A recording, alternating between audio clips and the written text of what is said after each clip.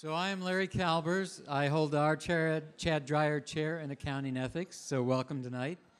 Uh, I have a few things to say. First of all, if you need CPE, and if you don't know what that is, you don't. So uh, there is a sheet over here. Uh, I want to thank a few people.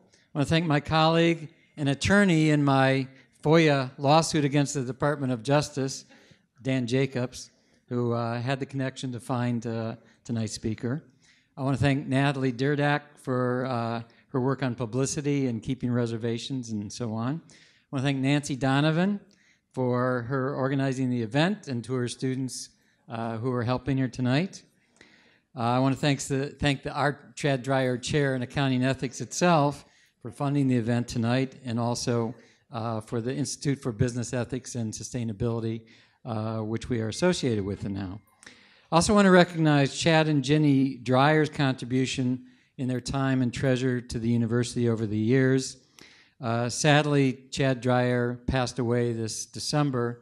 Uh, some of you know him, many of you may not have, but he was a very proud graduate of LMU's accounting program and very successful in his career, uh, which led to being CEO of uh, Ryland Group and also chairman of the board of trustees of LMU and he made some amazing uh, progress for LMU to make it what it was today. So I hope you'll keep Chad and his family in uh, your prayers. I want to mention the CBA has a new mission statement that's coming out, and it's a very appropriate for tonight's speaker. So our new mission statement is one sentence. We advance knowledge and develop business leaders with moral courage and creative confidence to be a force for good in the global community. So there will be a test on that. Okay. Thank you. Thank you very much. I like this group. They're clapping. The rest of you, wake up. Come on. So now I can introduce our great speaker for tonight. Sampriti Ganguli is Chief Executive Officer of Arabella Advisors.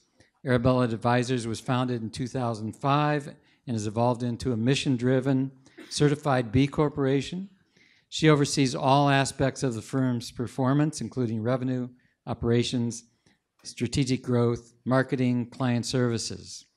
Uh, before joining Arabella, she was with uh, Corporate Executive Board, now Gartner, for 14 years, where she was Executive Director of CEB's Legal Risk and Compliance Practice, Managing Director of CEB's Government Practice, and before that, eight years as Managing Director of the company's finance practice. Uh, I could go on and on about her. I just want to mention that she received a BA with distinction in economics and political science from Swarthmore College. She was awarded a full tuition Freeman Fellowship to the John Hopkins School of Advanced International Studies, where she earned an MA with distinction in international affairs.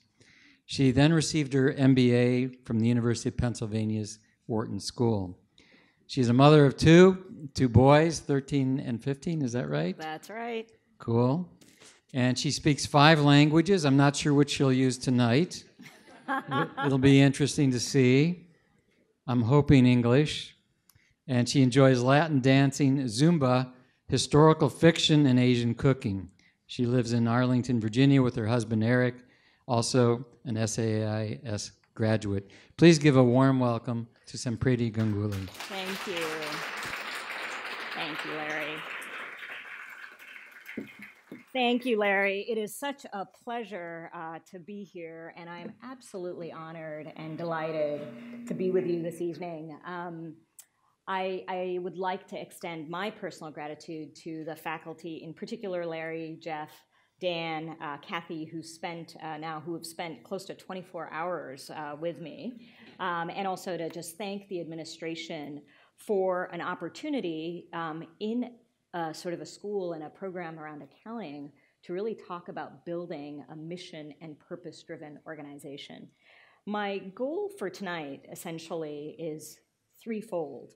Um, the title of my talk, as you can see, is Managing a Business at the Intersection of Profit and Purpose. And I'm just going to go ahead and give you sort of the big reveal right here, which is that not only is it possible to run a business profitably and be entirely focused on the issues of our time. In fact, it's actually an absolute imperative. Um, during our time together, I'm going to sort of do three things. The first is I'd like to convince you that, in fact, profit and purpose are mutually reinforcing outcomes that can be important cultural cornerstones of a business by sharing some examples of companies, including my own, uh, as we try to have purpose and profit at the center of what we do each day. Second, I want to share with you some of the broader trends uh, that I see which make managing a purpose driven business today a must have, as opposed to just a nice to have in, in years to come. And then, third, I want to share my personal perspectives on why I think it's actually hard to run a purpose driven company.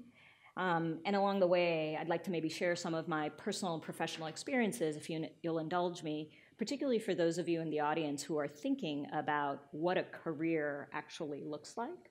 Um, and so I hope you'll you'll do that. I'll pause for the end, and I definitely want to encourage you to ask questions either along the way um, or perhaps at the end if you have them. Yeah. The Madonna mic didn't work. Sorry about that. So as you heard from Larry, um, I work at Arabella. We provide the world's most ambitious philanthropists and investors, and we work with them to achieve the greatest good with their resources. One liner. Um, but at the end of the day, it's sort of like the greatest job in the world. We get paid to help people figure out how to give money away. And I, I, remember pretty distinctively when I got a call from the executive recruiter for this particular position. And I hadn't heard about Arabella Advisors. I actually hadn't even heard about philanthropy or con- philanthropy consulting. And I remember thinking, like, is this for real? Like, this is for real? This is an actual job? How hard can it be to give money away? Well, it turns out it's actually pretty hard. Um, it is actually hard to give away a lot of money for three reasons. The first is that the laws that surround sort of charitable giving are actually pretty complicated. They vary across all 50 states. They're complex from a reporting perspective. The second is it is notoriously hard to measure social impact and to do so consistently. And the third is that the burden of wealth is actually very exhausting, both emotionally and psychologically. And for all of those reasons, the firms like ours actually exist. Before I talk about sort of what we do, I just wanted to give you a little bit of context around philanthropy. So, what you see here is a pie chart around charitable giving and the uh, places where it is allocated. Just as a little bit of context for those of you who don't follow this field very much, philanthropy um, here in the United States, the US is the most charitable uh, country as measured by giving. And in 2017, which is where we have the latest data, philanthropy comprised of about $410 billion. So that's a decent amount of money to, to give away to charity. Um, a third of that goes to religious institutions, uh, so your church, your synagogue, uh, your mosque. And another 14% actually goes to education. And let me be clear when we say education, we actually mean institutions of higher learning, such as Loyola Marymount University and others. And a lot of that actually goes towards buildings. Um, so basically, once you carve out religious institutions and education, all of a sudden you're left with sort of half of that pie, about $200 billion. And if you look at, let's say, human services, so things that you typically think about social services, it's actually a pretty small little bucket of money, $50 billion or so. Um, so the story of philanthropy in many ways is the story of sort of David and Goliath. Philanthropists take on sort of the world's most complex social problems with not a whole lot of money to actually solve for that. And that's one of the reasons that philanthropy is known either as patient capital or catalytic capital or risk capital. Philanthropy tries to solve for problems and challenges that the private sector can't and or that the government sector can scale. That has historically and traditionally been what its role in society is, and that is where we try to sort of help our donors. Just a little qualifier for those of you who I know are, are pretty interested, this does not include impact investing per se, but it is a sort of a very traditional and narrow definition. Um, there's a sort of pretty open debate right now as to whether philanthropy can fill the gap for sort of lowered government services or um, other social challenges. And if you do the math, uh, $410 billion is about 2% of GDP. The government is about 25% of GDP. Financial services firms are about 20% of GDP. And so mathematically, there's really no way that sort of philanthropy can cover that gap. And that's just sort of important context to have in mind as you think about, if you will, the power, promise, and potential of social change. Uh, we've been in business for about 14 years. We've influenced, as we measure it, about $4 billion of philanthropic capital. Um, we have 200 staff uh, in four offices Chicago, New York, San Francisco, uh, and DC. Um, these are some of our clients that you see on the left side of the page. We work with institutional donors like the Gates Foundation, the Rockefeller Foundation. We work with corporate foundations, and we work with a lot of individuals and family donors. Um, I can't really share their names with you, I'd have to kill you. But suffice it to say, we work with some names that you probably know and heard of. As we've tried to build this business, we have tried to be very intentional and purposeful about who we are and, and what we do. So, among the more exciting things we get to do, um, we launched a good food practice a couple of years ago. And what we're really trying to do is spur investments into sustainable food systems and sustainable food technologies. So, you may have heard of mushroom based meat alternatives but you may not have heard of tomato based tuna alternatives, which is a company that is trying to figure out how to solve the problem of uh, unsustainable fishing practices for tuna, which some of you may know is the apex predator. And when you deplete tuna, you deplete the entire ecosystem that thrives on having that apex predator. So we have a company we found and diligenced a company that's trying to find tuna uh, alternatives to tuna and things that taste like tuna to supply to sort of the sushi markets of this world. We've also figured out and identified a company that is focused on a technology that's a bitter blocker. And what this technology does is it is injected into foods. Um, it blocks the taste of bitterness, which in turn reduces the need for sugar, which in turn leads to lower obesity in our society. And so I share this with you because these are just examples of companies and technologies that are really started and originated and incubated based off of social change with social change at their very core. And these are some of the ideas that we bring to our clients. On the non investing side, on pure grant making, we are working on solutions with some of our clients that are at the intersection of housing and health.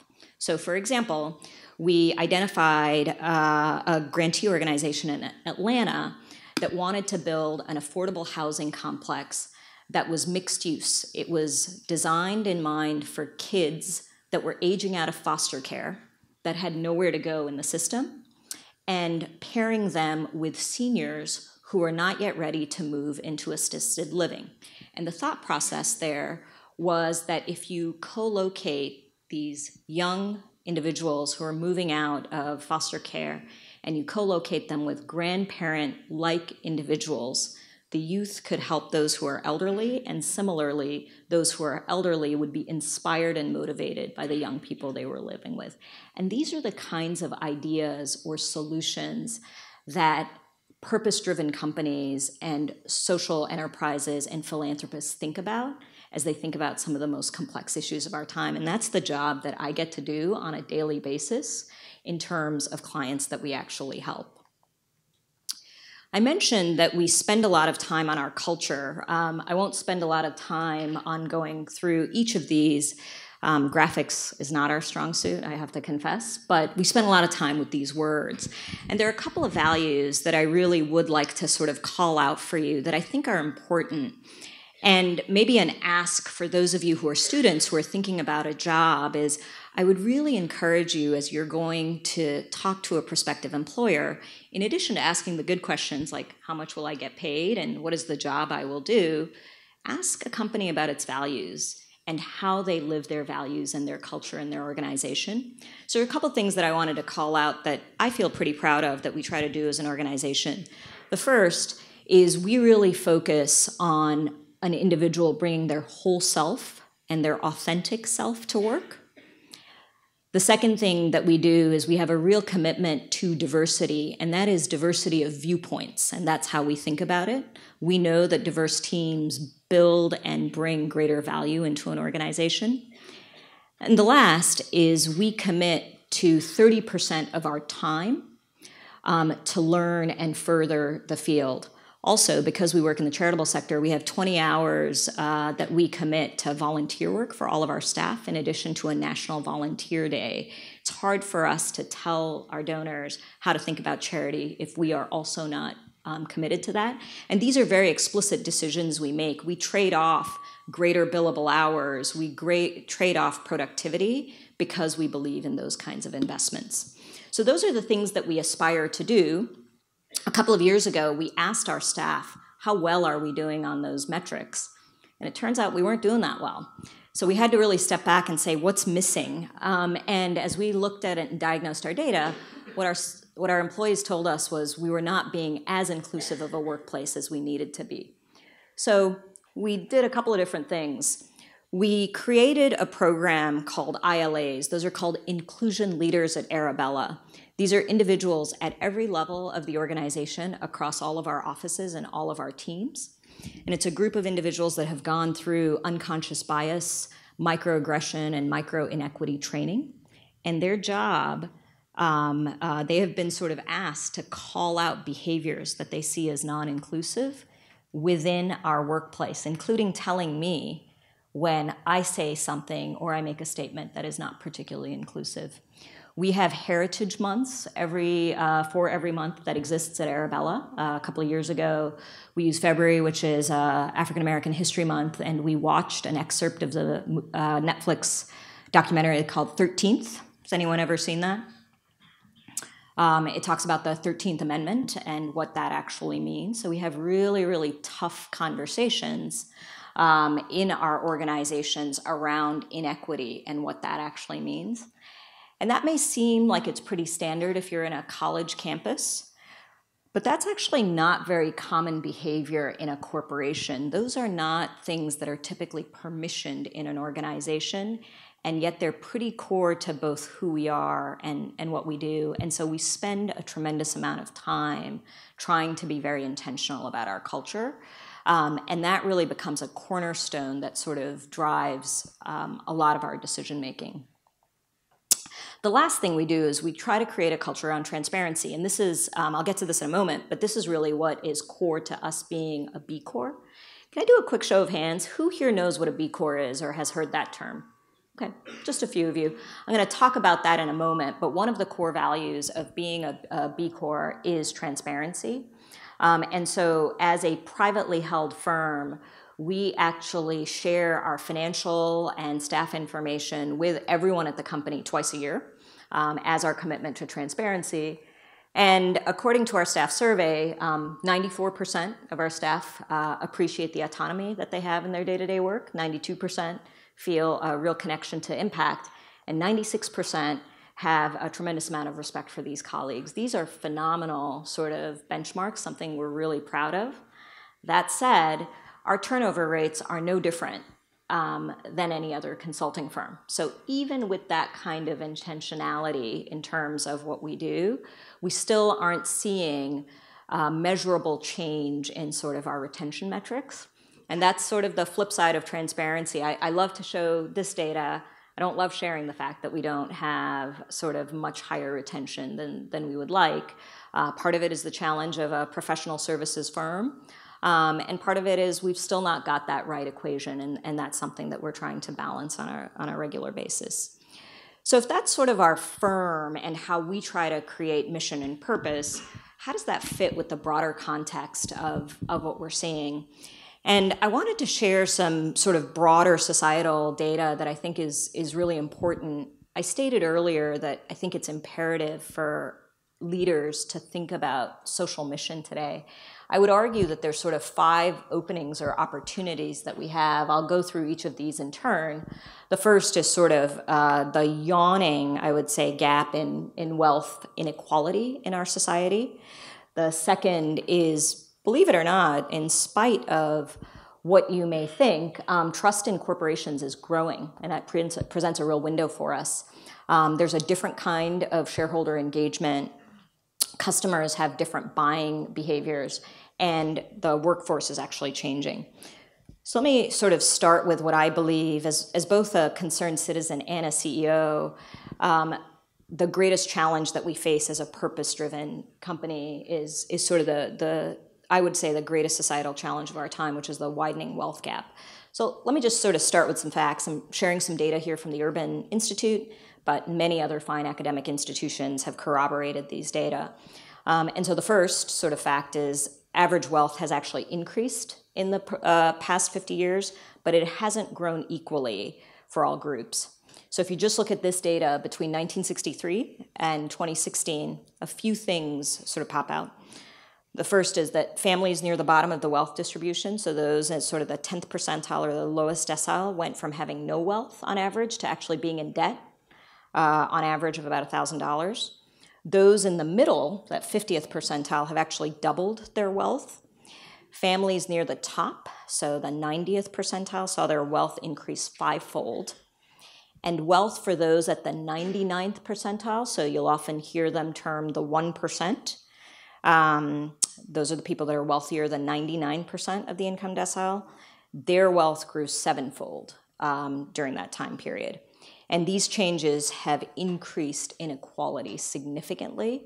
Um, the 0.001%, many of whom are our clients, um, that's even more attenuated and, and more pronounced. So, just to maybe put it a little bit in perspective, in 1963, families near the top um, essentially had six times the wealth of uh, those at the bottom. By 2016, that is 12 times the wealth. They doubled their wealth. And, and, you'll notice that I'm using my words sort of carefully here. I'm using the term wealth and not income. Um, that's because income is money that comes into a family. Wealth is sort of the sum total of a family's assets, things like savings, real estate, equity, stock that they may have, financial security. Wealth cushions families against sort of changes in economic conditions in a way that income doesn't. Wealth also grows as the economy grows. Um, and wealth disparities are actually much greater than income disparities when, when you look at it. So it's not a particularly pretty picture. And if you begin to look at this even deeper um, uh, by racial and ethnic background, the picture actually gets worse. So, according to demographers, by 2024, we will become a majority minority nation. For those of you who live in Los Angeles, I'm sure it feels like we're already there. Um, and though families of color will make up the majority of the population, most continue to fall behind uh, whites in terms of building wealth. So, white families, again, on average, have seven times more wealth than uh, black families and, and five times that compared to Hispanics. And in fact, the data show that we are worse off today in terms of racial inequality than we were in 1963. These are very real issues and broader indicators of progress sort of mask this inequality in wealth. And, and if you believe or know that with wealth and money come power, then I think there's a lot of work to be done. And the reason that I share this data is because this is core to the work that we do. Um, there's no irony that is sort of lost on me that it's precisely this inequality in wealth that gives rise to our business in the first place. The reason that we have a consulting firm that's focused on sort of uh, charity is because of this inequality in, in, in wealth. I think one of the foundational characteristics, if you carry this thread further, is there's a sort of belief that the American dream, this ideal that children have a higher standard of living than their parents, is, is getting lost. Um, for many of you, whether it's your families that have sacrificed so that you could come here to university, or your great uh, grandparents or, or their grandparents coming here for better opportunities, I think many, for many, they feel like this is lost. And, and the data bear this out. In 1940, uh, the average son, if you will, would have a 9 in 10 chance of earning more than his father. Today, that chance is 5 in 10. Um, and so we really do have a structural challenge around inequality in this society. So, why does this sort of matter? Um, and, and why am I sort of spending so much time on it?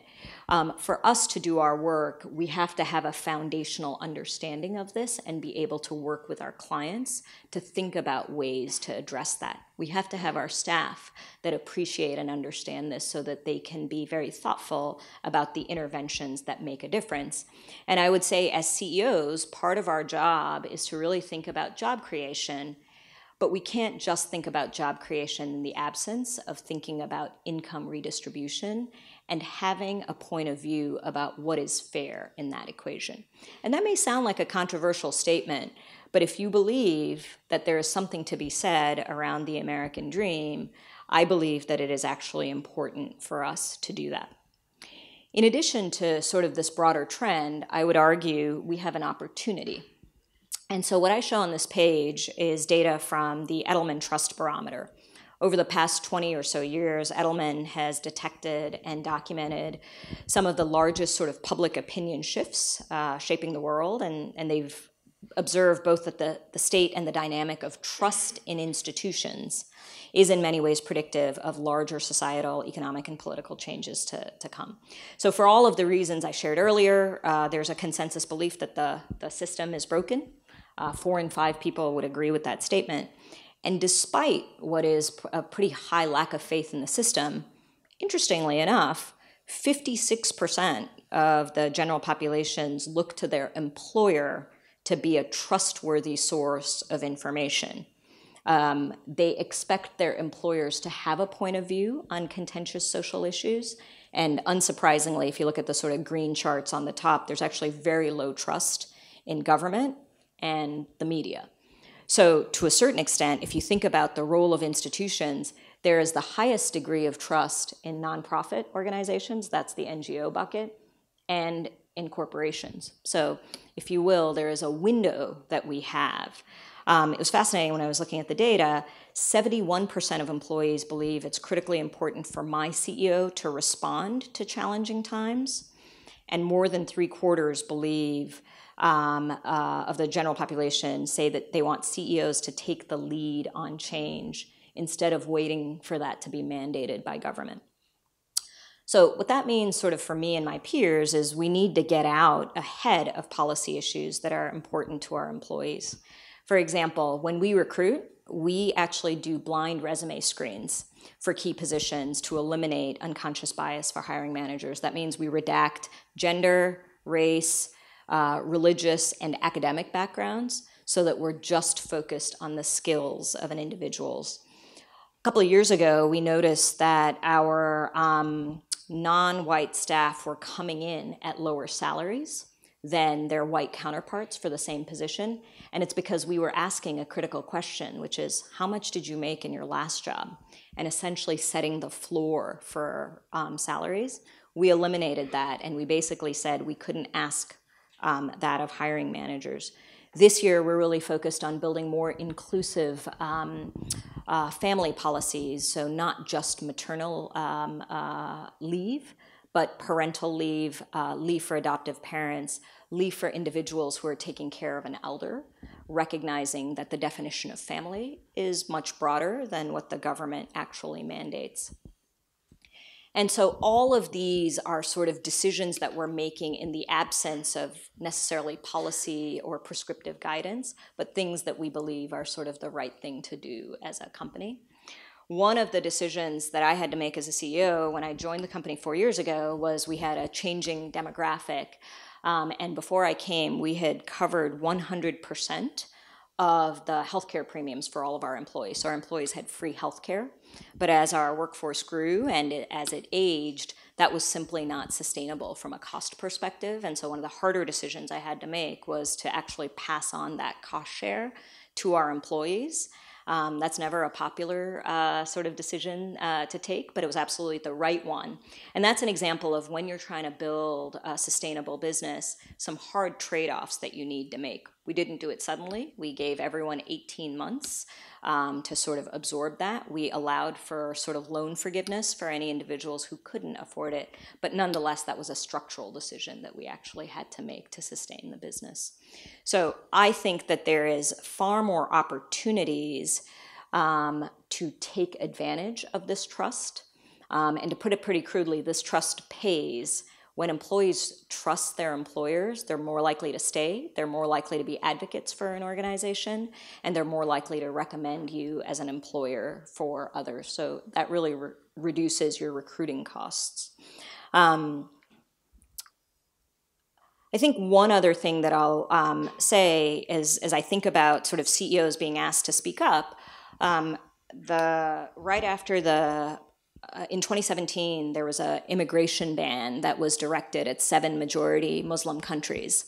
And immediately after that ban went into effect, several of my employees who are Muslim or Muslim American came to me uh, concerned. They didn't feel safe anymore in the country that they called home. Uh, they were worried that they couldn't see uh, their family and their colleagues, and so I sent out a missive to all of our staff telling them that they were in a safe space. And I actually sent a note out to all of our 18,000 clients, essentially saying that they should think about directing their charitable dollars towards supporting uh, communities in need in this particular time. And uh, let me tell you, I got some real nasty notes back from some of our clients saying it was not our job to be political, um, that it wasn't really our role to tell them how they should sort of move their their money. Um, and so that was a hard sort of moment when I thought there was sort of pretty clear values alignment in our broader community, and it turns out there wasn't. Um, it was nonetheless, from my perspective, the right decision. But when you act with what you think is sort of moral courage and fortitude, you have to be prepared for any negative feedback that kind of comes from that. I think for me, um, the idea of creating and building a society that is more inclusive feels deeply personal. Um, just as a little bit of background, I, um, I was born here in the United States when my dad was getting his PhD. And unlike a lot of immigrant families, we actually chose not to stay here. So we moved back to India, where I'm from, and I spent my formative years in the Philippines. Um, and I'll never forget my dad. He was very practical, and he kept my U.S. passport, which I traveled with uh, all through my childhood.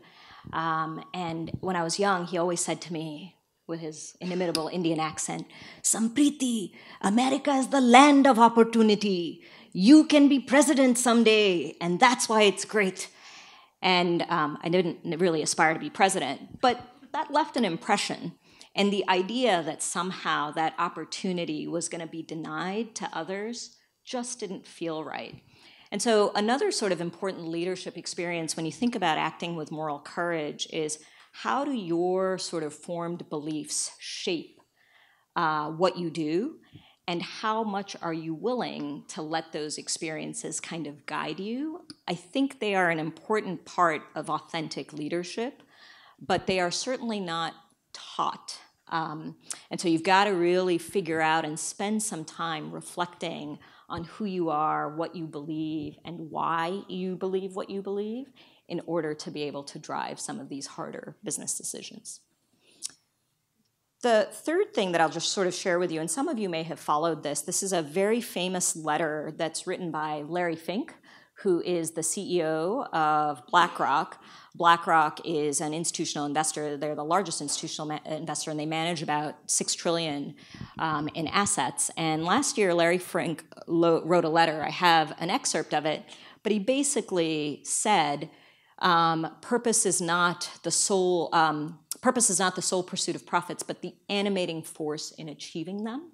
And he essentially put a call out to corporations saying, you actually need to define what your purpose is in addition to what your profits are. It created a pretty big stir across the entire investor community. But it has become an important cornerstone for corporations to go back and really redefine their purpose. I would contend that it is easier for a new company or a relatively new company like ours to have purpose at its core much more so than it is for a global, multinational, highly distributed corporation that has been around for a long time. It's not to say that you can't, but the forces that work against you as a global multinational corporation, whether it's quarterly earnings pressures, whether it's a very disintermediated supply chain, whether it's being very far from your customers um, and or your sort of core suppliers all of those make it harder to sort of create purpose. It can be done, but, but it is more challenging. Two other things that I just wanted to share with you uh, in terms of broader trends. Um, uh, wanted to just baseline, get some uh, sort of understanding of, of generations. Here you can see those across the spectrum. Quick show of hands. Anyone here know? Um, you want to raise your hand if you're a baby boomer? Okay, we've got some in the room. Um, anyone here who self identifies as Gen X? Not too many of us in the room. Okay, uh, millennials? Surprisingly few, and uh, Gen Z. It's the majority of this uh, majority of this room. So I'll um, I'll go to you guys. Um, for millennials, 67% say that the brand matters to their product quality. Only 53% of boomers actually care about that. Women, 61% say that they're more emotionally attached to their per, uh, to a purchase. Only 45% of men. And uh, uh, among other demographics, um, uh, those who are Hispanic, 70% will say brand value matters as much as product performance compared to 56% of the average population. So there is a changing preference among customers that present an occasion for purpose, not just as sort of the moral compass for an organization, but really sort of a marketing and, and brand opportunity. And for those of you in the room, and perhaps you can uh, sort of agree with me, I look at you as the future workforce. So if we're trying to build a company to attract new talent, 60% want to create impact in the world, 52% say honesty is actually the most important quality in leaders. At another time, I would substitute words like decisiveness, like other things. Honesty? Not always. In fact, honesty hasn't always escalated to the top, but new generation of workers actually say that's important. So those are some of the, the trends that I think uh, create sort of an avenue to build an intentional, purpose-driven company. So how do you do that? And, and how does that actually work? Well, one way to get there is through becoming a B Corp. Um, and, the, and the best way to think about B Corps is it's a certification process.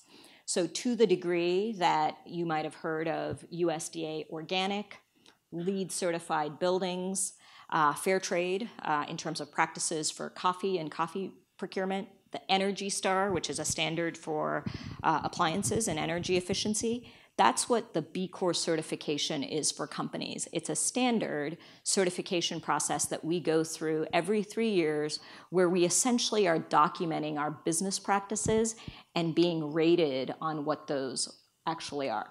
So this is Arabella. Um, this is our B impact report. We have a score of about 91.6. You need a 50 to pass, an 80 sort of average. Um, we're just a little bit above average as a company. And what does the certification actually do? Well, there's actually five different dimensions to it. Um, and you can see it on this page. There's governance, so it's things like how are decisions made in the organization? Um, what does the ownership structure of a company actually look like? Um, how tightly controlled is it? The second aspect is workers. How do we treat our workers? What kind of professional development do we give to our employees? What are our benefits program? How inclusive are they? Do we provide on the job and off the job uh, kind of training? The third is we look at our impact on our community um, uh, as measured by charitable giving as well as volunteerism. The fourth is we look at our environmental footprint, the carbon footprint that we create, um, recycling um, programs that we have, uh, proximity to public transportation, uh, among other things. Um, and then lastly, we are looking at our customers. What kind of uh, transparency do we actually create? So you can see our sort of scores on this particular assessment. We don't do very well on environment in large part because we're a services company. We're not an actual product company. We don't create things, so we don't really have an opportunity to impact our, our supply chain. We do really well uh, with our customers because our customers are creating social change. And so those are some uh, kind of areas. Um, and this is something that becomes, uh, for us, a management tool that we use to guide a lot of our investment decisions. Um, there are today about 2,700 certified B Corps. So there's actually a lot of them. I think when I started looking at B Corps four years ago, there were 800. So just to give you a sense of how much that has grown, they're across 60 countries, 150 different industries.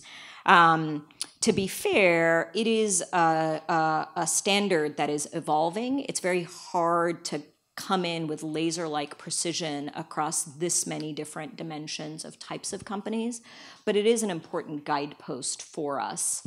Um, and it drives a, a, a, lot of our decision making, including our commitment to transparency um, and how we think about our communications. Um, other examples um, or other reasons that we have B Corps A, it's been a pretty successful recruiting tool for us. So uh, uh, employees that might otherwise go work in a big corporation say that they feel like they want to commit to being a, a B Corp. It's been important for our clients to know that we're sort of values aligned with them. Um, it's been helpful from a benchmarking perspective, so it gives us some very good practices that, that we can actually think about. Um, so, on balance, it's been um, really interesting. The, the other thing that I'll say about being a B Corp is you think a lot about your capital and how your capital is deployed. Um, one of the areas that we looked at, and I, I, shared this with you all, is we look at impact investing and we try to help organizations and companies think about divestment. Is anybody familiar with that, that term, divestment? Yeah. So um, Arabella recently did a report on uh, divestment, and you can see here today uh, there are about a thousand organizations that have committed to divestment. Uh, that's the data on the left at about $6 trillion in commitments. Um, and on the right, you can see the sort of volume of those growing. For those of you who follow this closely, the Catholic community and faith based institutions have been really a clarion call to the moral imperative to divest from fossil fuels. They've also been very intentional in creating a coalition around divestment. Um, and they've been real activists when it comes to the fiduciary responsibility for very large fossil fuel companies to talk about what they're doing in, in the area of divestment. That's one way that companies, um, B Corps, and others can think about their commitment to climate change. Um, another B Corp that I think takes this a little bit further is Patagonia. Um, some of you may know Patagonia. They make sort of fleece down jackets, things that you guys here in Los Angeles probably don't need to worry about. Those of here, uh, those of us who live in the East Coast, when it's 10 degrees, really value their products um, uh, deeply. Uh, Patagonia is a B Corp, and I would say they have taken their commitment to climate change sort of above and beyond what I've seen a lot of different corporations do. And they really are very focused on what I would call holistic values alignment. So the first thing is they sort of make very clear that climate change is man made and that they have a role to play in that. At the three o'clock, they quantify the business practices that they have implemented or will implement to reduce their carbon footprint by 2025. They um, have since, I think, 1985, provided $100 million in grants to environmental organizations, grassroots environmental organizations that are at the front lines of mitigating climate change. Um, they call it the 1% for their planet. And they are, if nothing else, um, huge activists in the area of climate change, whether it was the Dakota Access Pipeline, Utah, Bear Paw, you know exactly where Patagonia stands on an issue. It doesn't work for everyone, um, and it may not be sort of the, the right position, but it is a company that has been very, very clear about what their values are from the beginning, and they integrate their business practices, their giving, and their activism around that. Um, just uh, since we talked about sort of managing profit and purpose, it's a very profitable company. Uh, their revenues are about $750 million, so it's a large organization. However, if you were to compare Patagonia with REI, uh, which is also a competitor, REI is about $2.4 billion. So one of the things to sort of keep in mind about B Corps, it's all relative, but B Corps on balance are small. And the reason that they're small is they are very intentional about growth um, and they don't rapidly sort of scale their business. They test, they learn, they reinvest. Um, so if you're looking for a growth company, you may not always get it through a B Corps. And if you're looking for a business that works over the long haul, looking at a B Corps is kind of one, one way to go. Their mission statement is we're in business to save our home planet. It's a pretty strong, powerful statement. Another area of divestment that we've been focused on as an organization, and we wrote a report on this recently, is around the prison industrial complex. Um, so this may not be a surprise to some of you, but mass incarceration is a huge challenge in our society. Um, the United States uh, uh, has a prison population of over 2 million, and 3% of our total population is in under some form of correctional supervision. So there's been a huge movement to divest from the prison industrial complex. Um, and just a couple of weeks ago, you saw JP Morgan um, Chase essentially uh, making a commitment to stop funding private prisons. They're one of the bankers, along with Wells Fargo and US Bank, that has funded the building of private prisons. For JP Morgan, this was a pretty easy decision to make. It was a very small part of their business, but the child separation incident being linked to prisons was sort of a moment for activists to get them to, to act. Um, there's another B Corps that I really admire that takes this concept of the prison population to um, another level. Um, Greyston Bakery. Anybody here heard of Greyston? They're a small bakery uh, headquartered out of Yonkers, New York, um, and they make these lovely brownies that you see on the left side of the page. They've had a very intentional relationship with Ben and Jerry's, um, and it is their chocolate fudge brownie that animates uh, Ben and Jerry's chocolate fudge brownie ice cream. They've had a long-standing relationship with them. And what's interesting about Greyston is that they hire the unemployable. That is to say, they hire people specifically who are uh, coming out of prison, uh, who are disabled.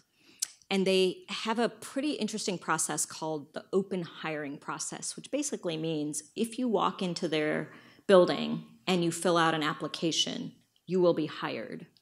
They ask no questions about your background, and 60% of their um, bakers are ex convicts, or as we like to use a more inclusive term, returning citizens. Um, and they make a very explicit commitment to hiring returning citizens. And the reason they do that is Yonkers, New York, um, has actually a much higher unemployment rate than the rest of New York. Um, they believe and have calculated that by hiring people through this open hiring process, they save $4,000 per person on recruiting. They have a 12% turnover rate in an industry that typically has 50 to 60% turnover.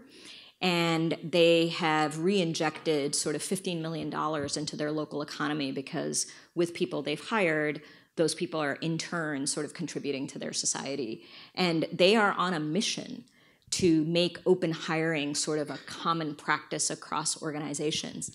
And it makes pretty good business sense. Um, if you think about where we are as a society, we are close to full employment, um, and there's a sort of real shortage of talent. This seems pretty controversial, especially in a professional services context in financial services when you run all kinds of background checks typically on people and their criminal background but it has been incredibly powerful to see a company that has embraced this as a policy and shown both the social and economic returns. Greyston is about $10 million in revenue, and their profits have doubled over the last four years. So, another exemplar organization. This is Greyston's mission statement. Um, one of the things that I, I love is a mission statement in a corporation that talks about loving action. Our acceptance of others where they are, followed by right action, will lead to growth and positive change in the evolution of individuals, programs, and communities. Not sort of corporate language or corporate speak, Um, their founder was, um, I think, a rocket scientist and became a monk. So it may give a little bit of a sort of story as to why they got there. But be that as it may, it's a smart business strategy that has great social outcomes. Collectively, these 2,700 companies, of which we are a part, um, really lead with sort of business as a force of good at our, at our very core. We are part of increasingly what we call the B economy. We hire one another. Um, we go out of our way to hire other B Corps. Um, we, uh, we have clients that are B Corps, we have vendors that are B Corps, so it's a, a little bit of a closed loop economy in terms of us trying to lift one another up. And we are certainly trying to make our standards sort of more commonplace and more part of the average business parlance. If you all get a chance, definitely look at some of those metrics um, and try to compare them side by side by some of the other business that you're, businesses that you're looking at.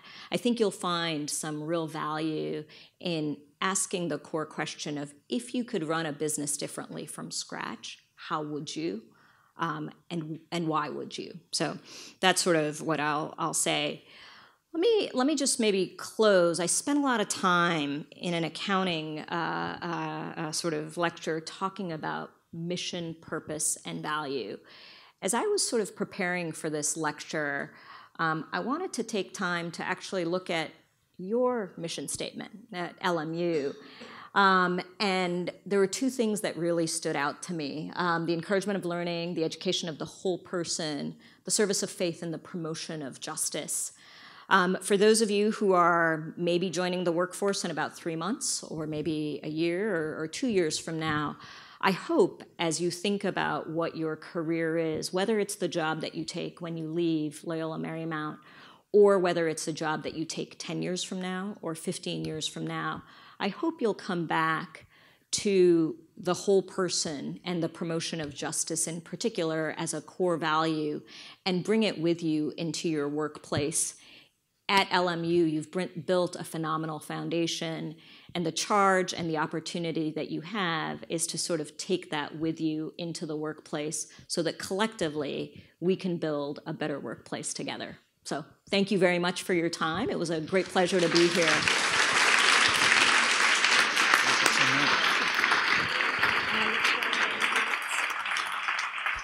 Thank you so much, Sampriti. So we have time for a few questions, and then I would like to invite you after that to come outside for some beverages and some food, and Sampriti will be out there to talk with you. Anybody have any questions that uh, they would like to ask? One at a time. Yes. Mm-hmm. I was just curious as to why it's not going into the public sector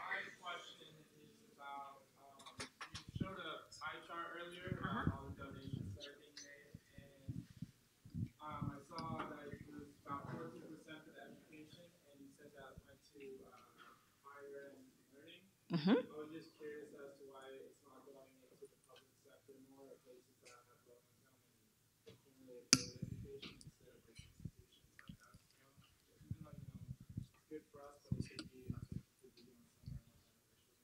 yeah, that's a great question. So the question was was why is so much of this money going to institutions of higher learning, places that have endowments, as opposed to going into maybe lower income communities or places where there's sort of greater need.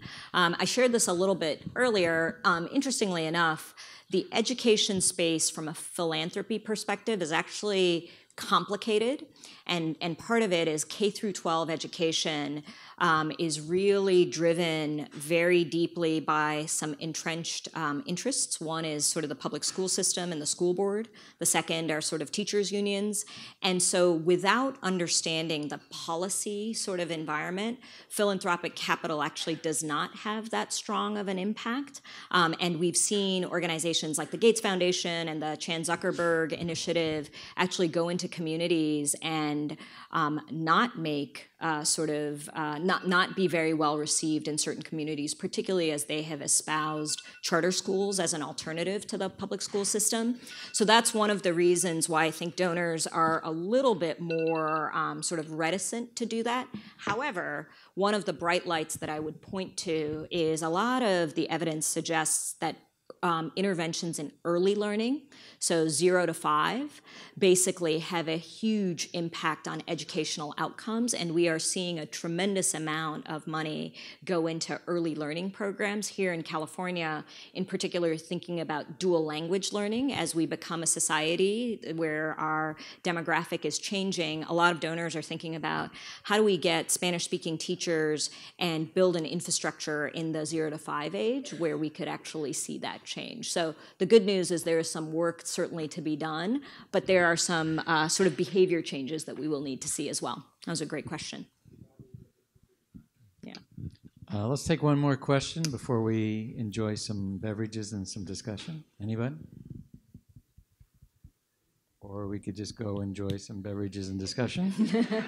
uh, so before we do that, I just want to uh, thank you again. Thank you. So-